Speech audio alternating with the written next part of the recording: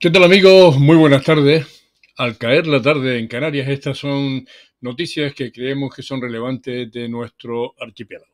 Esta mañana se ha celebrado una eh, reunión eh,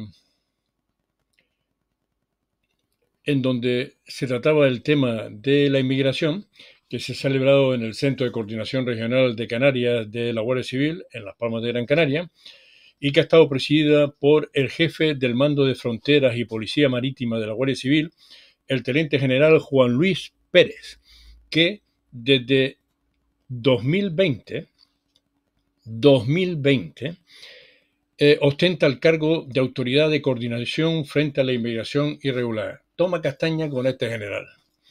Si uno tendría que juzgar lo que ha hecho este hombre desde eh, que ocupó el cargo, es decir, los últimos tres años. Y con lo que está pasando con la inmigración eh, ilegal, a este teniente general, a Juan Luis Pérez, habría que mandarlo para su casa. Por inútil, no por otra cosa. Porque está claro que esta reunión, que fíjense, en esta reunión han participado Representantes de la Guardia Civil, de la Policía Nacional, de la Armada, del Ejército del Aire, del Ejército de Tierra, Capitanías Marítimas, Salvamento Marítimo, Gobierno de Canarias, la Dirección General de Atención Humanitaria e Inclusión Social, de la Inmigración de la Secretaría de Estado de Inmigración, Cruz Roja Española y el Departamento de Vigilancia Aduanera. Toma castaña. ¿Y qué pasa con toda esta gente hablando ahí? Nada, no pasa nada son una pila de inútiles que no toman una decisión correcta respecto de parar la inmigración en los puntos de salida. Porque lo que hay que hacer es meterle mano a Marruecos, Mauritania y Senegal. No, aquí no. Aquí somos, hablamos mucho, están cobrando dieta seguro eh, la mayor parte de ellos. ¿Para hacer qué? Nada, nada. En lo que va de año a Canarias han llegado 14.000, 14 más de 14.000 inmigrantes ilegales. Ha aumentado un 25% respecto del año anterior. Y este grupo de gente que se reúne para hablar, no se sabe muy bien de qué, estamos preocupados con la inmigración, estamos preocupadísimos. Miren, a juzgar por eh, los resultados, toda esta gente, si esto fuera una empresa privada, estarían cesados por inútiles. O por plegarse a, los, eh, a las propuestas de Pedro Sánchez y el gobierno central respecto de no tocar a Marruecos, de no tocar a Mauritania, de no tocar a Senegal. Pero Canarias sigue sufriendo eso. Y aquí no escapa nadie. El Partido Popular de eh, Las Palmas de Gran Canaria, del Ayuntamiento de Las Palmas de Gran Canaria, ha propuesto que, vamos a ver, en, en el Cebadal, en la isleta, hay unas instalaciones que antes eran del regimiento Canarias 50 y ahí están instalando a los inmigrantes ilegales, a los que llegan en cayucos, pateras, en fin. Van a meter allí a 900, más de 900 inmigrantes ilegales.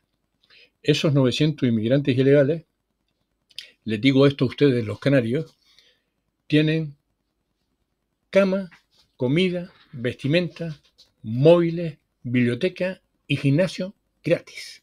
No dan un palo al agua, pero toda esa gente tiene todos esos servicios gratis mientras, y esto me pueden tallar de demagogo y a mí me importa lo que ustedes comprenderán, muchos canarios se están muriendo de hambre o durmiendo en la calle.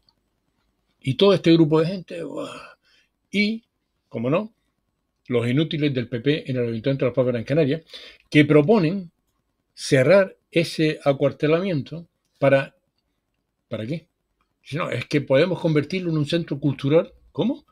¿Y dónde mandas a los 900 inmigrantes eso? ¿A Tafira, donde ya los mandaron una vez y fue un desastre absoluto y sigue siéndolo? ¿A Moán? ¿Dónde los manda? Esta gente del PP, vamos, por eso están en la oposición, porque no pueden ser más tontos. ¿Qué quieren que les diga, verdad? O al menos así me lo parece a mí. Si quien trata de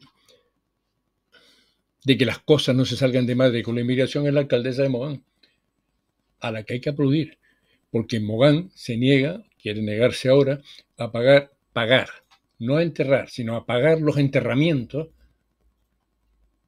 de los inmigrantes que llegan fallecidos en eh, las embarcaciones que vienen hacia Canarias.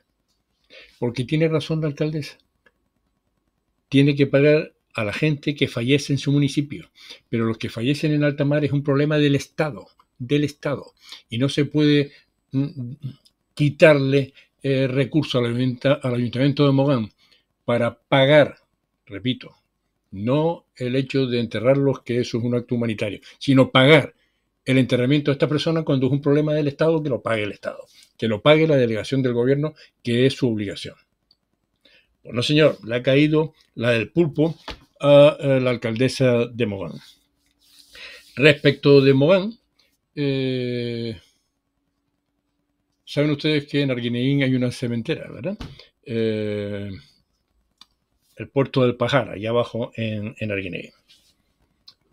Oigamos estas declaraciones el puerto de eh, lo que es el Pajar, eh, Santa Águeda, tiene que pasar a ser eh, a tener ese uso turístico porque es una pieza turística y por lo tanto hay que desmantelar ese puerto industrial y tiene que pasar a ser puerto deportivo, con lo cual no es una decisión ni de un partido político ni de un consejero en, en particular. Es una determinación que establece el Plan Insular de Ordenación de Gran Canaria, que como digo, lo hemos aprobado todos los que hayan participado en esa, en esa aprobación, donde están prácticamente todos los partidos políticos. ¿Esto qué supone? Supone que una industria pesada eh, lo normal es que esté en los suelos adecuados, que son los suelos industriales. Donde ellos tienen la cementera es propiedad privada de ellos. Y ahí, en principio, no se va a hacer nada. El día que se desarrolle esa pieza turística, lo que establece el plan insular es que no cabe ningún otro uso que no sea el turístico. Que la intención no es terminar con la actividad, esa actividad industrial. La intención es que se haga donde se tiene que hacer, que es en un suelo industrial. Vamos a ver. A esta señora y a todos los que firman ese plan insular, hay que decirle que allí estaba la cementera cuando no había ni un solo bungalow en esa zona, ni un solo apartamento en esa zona, ni un solo hotel en esa zona. Eso es propiedad particular. Y por lo tanto, no se trata de quitar una industria para colocarla, según esta señora, dice, en un terreno industrial. ¿Dónde? ¿Dónde pones la cementera? ¿La pones en la isleta? Cualquier ayuntamiento te va a permitir poner en sus costas dónde. Porque claro, ¿Dónde pones la cementera? ¿Por qué no das la solución en decir que ahí solo puede haber turismo? Estas otras de las inútiles, inútiles en general, mujeres y hombres, que pululan por la política española y por la política canaria. No, allí no puede seguir la cementera, tiene que ir en un suelo industrial. ¿Dónde? Da la solución, hombre. O mujer. No da la solución. Prohibir es fácil. Dar la solución no parece que sea lo más correcto. En Tenerife están preocupados porque han encontrado un eh, mosquito, mosquito Aedes, mosquito peligroso, en, un, en una vivienda. Hombre, yo no sé cómo han encontrado un mosquito Aedes en una sola vivienda, me imagino que si hay uno hay 21, o sea que eh, si eso es así, habrá que tener eh, precaución. Desde, desde hace muchísimos años, ya ven por eh, mi cara que tengo no muchos, sino muchísimos años. El Hotel Oliva Beach, en Corralejo, en Fuerteventura, está allí plantado desde hace décadas. Y Costas quiere tumbarlo abajo como quiera que sea y ahora se opone de nuevo a la remodelación de un hotel que estaba allí desde hace décadas, cargándose, no el hotel, sino Costas, a multitud de puestos de trabajo por una cabezonería que no tiene parangón. ¿Qué habrá detrás de ese empeño eh, de Costas en encargarse ese hotel? ¿Qué habrá de empeño en las grandes superficies para poner esto? Esto es tomate canario. En el círculo se pone origen Portugal. Tenemos una isla que se llama Portugal en Canarias, no sabía yo esto. Un municipio que se llama Portugal en Canarias, no sabía yo esto tengo que repasar mis conocimientos de la geografía eh, canaria para saber dónde está Portugal y por qué viene el tomate de Portugal siendo eh, tomate canario. ¿Verdad? Ironía, ironía, ironía pura. Mm, por otra parte, aquí hemos denunciado en multitud de ocasiones que el problema, uno de los graves problemas que tiene eh, Canarias es la educación de las personas que viven aquí todos los días eh, o casi todos los días emitimos eh, sitios en donde el vandalismo hace estragos. Bien, Esto es Fuerteventura, yacimientos arqueológicos de Puerto Rosario vandalizados por unos descerebrados que destrozan todo. Y así es casi imposible tener algo decente en Canarias. Es casi imposible, porque es un problema de educación. Por último, les dejo con las reflexiones de este canario eh, que trabaja en la agricultura y y que en mi opinión son totalmente acertadas. Con este vídeo lo dejo, mañana volveremos más o menos a esta hora. Buenos días señores. Aquí un espadachín nuevo desde Las Palmas de Gran Canaria, trabajando un dominguito. Como veis, la maquinaria, el estiércol, soy agricultor. Llevo una semana bastante quemado. Llevo una semana bastante quemado. Aquí en Canarias lo vamos a empezar a pasar mal. En España lo estamos empezando a pasar mal. La nueva ley de restauración del ecologismo o del ecosistema, no sé cómo se llama. Las papas a 4 euros aquí en Las Palmas, el aceite a 10 euros en toda la península. Enterarte que el, marroquí lo manda para arriba a 2 euros el litro, que las aceitunas que nos mandan están cargadas de, de uno de los fitosanitarios más cancerígenos para la mujer, para el cáncer de mama que hay. Y lo importante es el beso de Rubiales lo importante es que la chica esta de la selección española ya no juega más, porque no sé ni cómo se llama. ¿Hasta dónde vamos a llegar? ¿Qué necesitamos para, despertar? ¿Qué necesitamos para ver lo que nos está pasando? ¿Qué necesitamos para ver dónde vamos? Porque somos ciudadanos de tercera. Tú tienes que estar rectito como una vela. Yo tengo que estar rectito como una vela, no nos podemos desviar, tenemos que pagar impuestos, tenemos que ser ciudadanos correctos. Pero luego llega un prófugo de la justicia y va a ser que gobierne España. Y encima hay que estar agradecidos con lo que está pasando. Señores, no sé cómo lo vamos a hacer, pero esto pinta muy mal.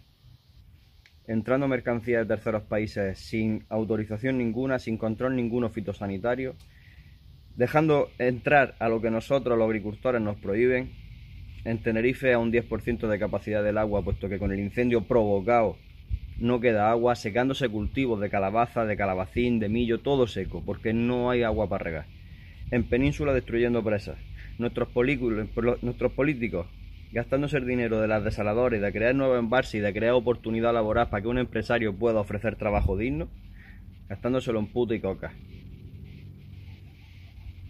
Lo importante es que tú estás viendo el TikTok. Lo importante es tú que estés en el, en el Instagram. Lo importante es que estés en el Facebook. Lo importante es que te calles la boca. Eso es lo importante, que te calles la boca, que no digas ni mu. Eso es lo importante, que no te quejes. Eso es lo importante, que seas sumiso. Yo trabajando para pagarle, para pagar impuestos. Pero luego el que se queja del capitalismo es el que está tumbado en su casa cobrando las ayudas que yo pago. Yo como tantos miles de españoles. ¿Hasta cuándo, señores? ¿Hasta qué momento lo vamos a permitir? ¿Hasta qué momento no, no, no nos vamos a hartar? Coño, que somos españoles, que hasta hace poquito gobernábamos el mundo, que tenemos esa sangre dentro de guerreros mediterráneos. ¿Qué nos está pasando, señores? ¿Qué nos está pasando? Desde Las Palmas de Gran Canaria, un espadachín. Espero que os pueda ayudar y aquí me tenéis para hacerme las consultas que queráis sobre el tema del sector primario y todo lo que pueda ser contás conmigo. Saludos.